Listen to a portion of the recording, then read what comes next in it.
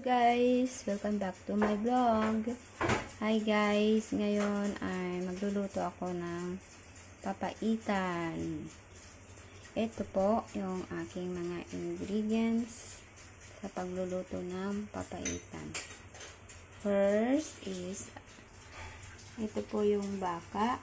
Meron po siyang ah, atay, kidney, ah, heart, yung meat, at saka ito, yung libro-libro. Pinakuluan ko na po yan guys sa pressure cooker. So, malambot na po siya and ready to slice na. Pagkatapos, ready to cook na din po. Ito po yung sabaw ng pinagpakuluan ko ng baka. Meron na po yan kunting atdo. Hinalo ko na po kasi tinimplahan ko po yan bago ko po siya pinakuluan ng baka. Kalamansi. Fresh tomato. Naglalagay po ako ng kamatis guys. Iba-iba po kasi tayo sa pagluluto ng papaitan. Yung iba, hindi talaga sila naglalagay ng kamatis. Pero ako, naglalagay ako pag nagluluto po ako. Kasi parang feeling ko ito yung nagbibigay ng lasa sa sabaw. At saka sa meat. Ginger. Onions. Garlic. Vinegar. Green chilies. At saka yung asin. So, guys, samahan niyo po ako at ako ay maghihiwa na ng ating meat baka. Yan. Complete. Ah, parang hindi po yata yan kompleto. Meron pa pong minsan yung intestine. Nilalagay po, nilalagyan din po ng intestine. Yung bato. Tinatawag nilang bato ng baka. Nalit na kasi ako kahapon mamalingki kaya medyo naubusan na rin. So, yan guys. Maghihiwa na ako guys. Okay guys. Maghihiwa na tayo.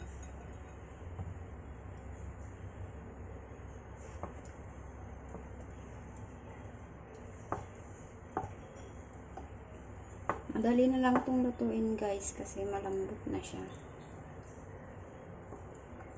Pinalambot ko siya sa pressure cooker kanina.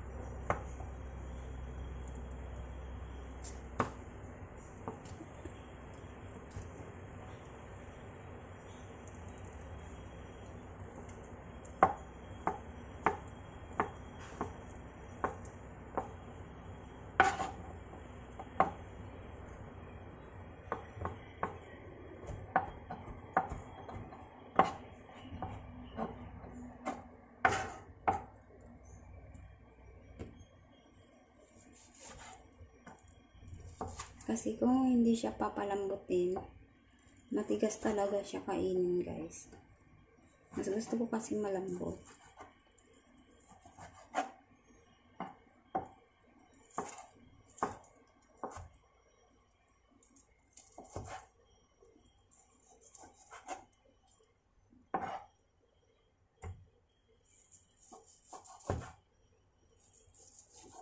Yan, ang dali lang niya hiwain.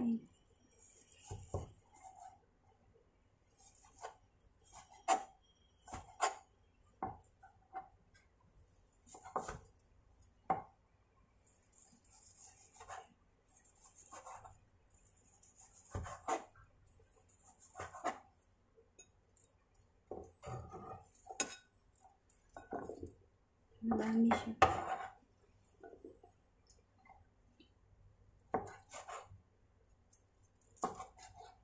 Try ko itong isang kutsilyo ko.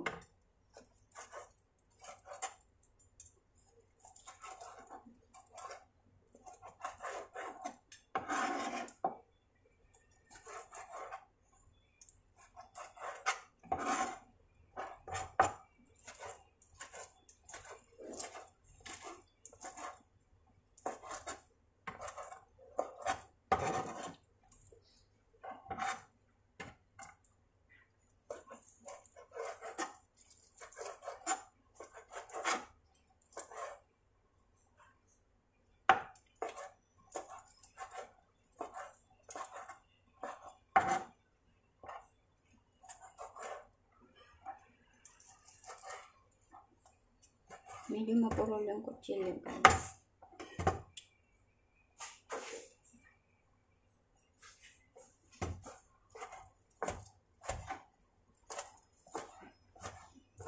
Ito mas okay.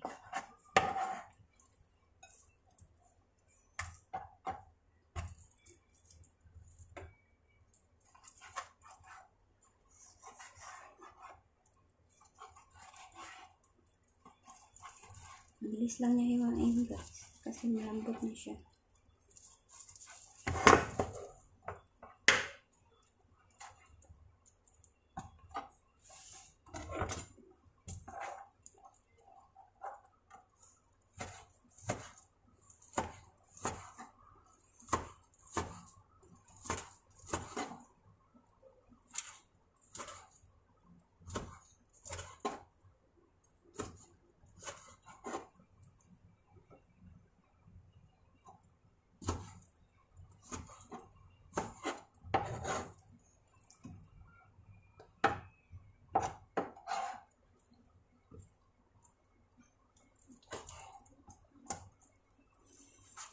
Daming tao kahapon dun sa pinuntahan ko guys. Sa Little India dito sa Singapore yung lugar ng mga Indian kung saan doon sila din namimili ng mga kailangan nila mga kakainin nila paborito nilang mga pagkain nandun lahat. So daming tao tapos magdidi pa bali pa kaya siksikan kahapon. Daming tao dun.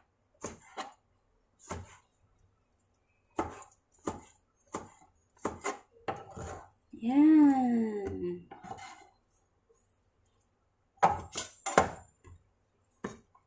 Tapos na. Magluluto na ako guys.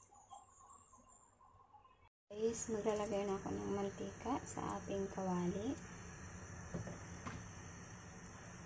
Yan.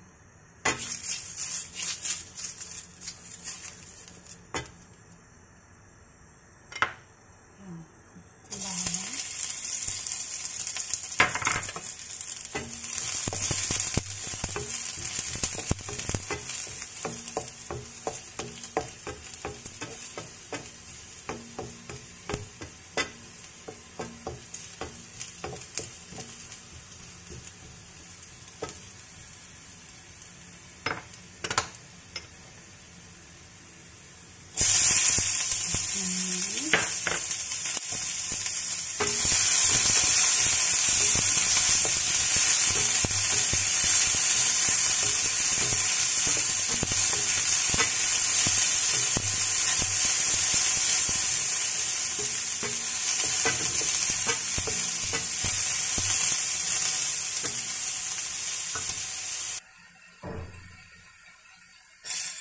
And here.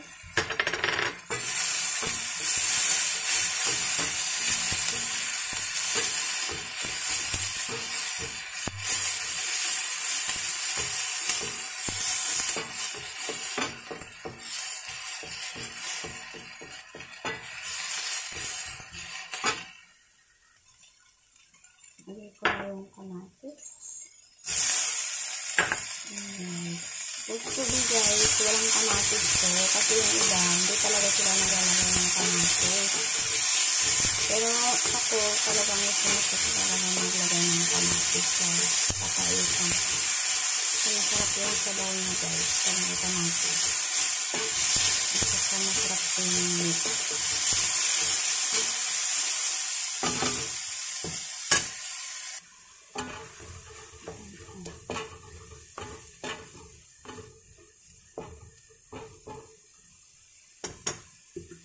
Tatakpan ko muna guys.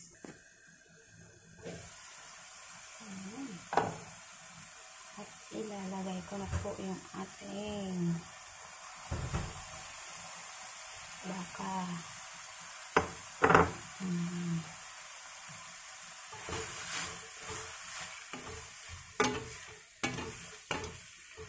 Kunti na lang ang oras sa pagluluto nito guys. Gaya nga ng sinabi ko kanina. Ay, napalambot ko na siya. Then, lagyan natin siya. Maluto ng konti.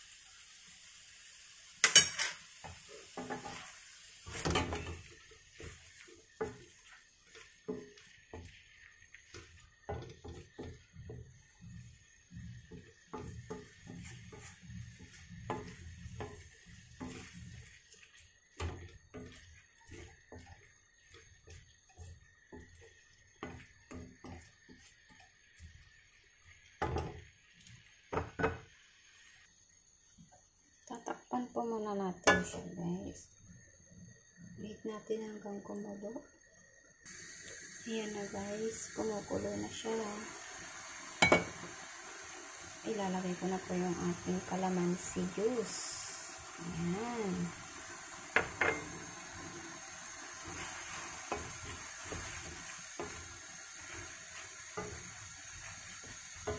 Tinimplahan ko na din ito kanina guys. So, konting timpla na lang ang gagawin ko ngayon.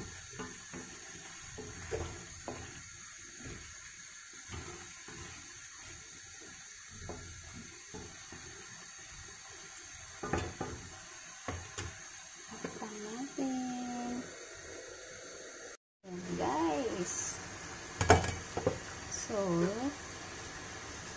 lalagyan ko po ng konting suka. Kunti lang kasi may kalamansi na siya kanina guys. So, kailangan konting-konti lang para hindi masyadong maasim. Pangit kasi pag maasim masyado yung papaitan natin, di ba? And then, lagay ko na po itong sabaw. Ito po yung pinagpakuluan ko kanina dito. Ginamit ko po yung pressure cooker. Naglagan ko pa ito ng konti. Ayan. Tama lang yung sabaw.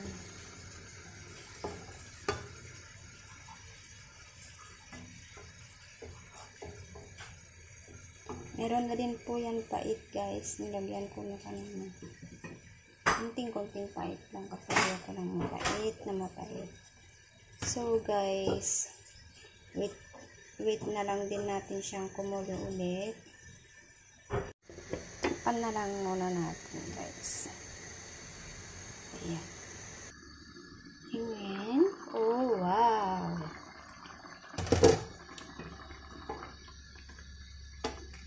Kumukulo na siya. Ayan. At ilalagay ko na po ang ating sili. Ayan.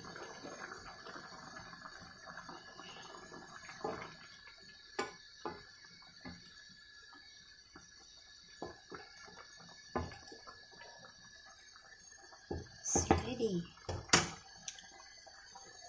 Almost. Pakuluan na lang natin siya ng about 2 minutes. And then, and it's ready after that. So guys, thank you for watching.